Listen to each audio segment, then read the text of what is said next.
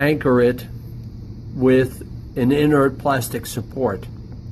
And I just placed it in the solution with the magnesium rods. The magnesium rods, about an inch, are immersed in the electrolyte, which is the uh, sodium persulfate uh, in uh, water. And the voltage open is 2.50 volts. So let me uh, run this. I'm using one hand as always. Let me see if I can attach this. And there's the DC motor running. And the voltage only drops down to about 2.14 volts. So this is very impressive. Very, very impressive. So uh, in the sodium persulfate,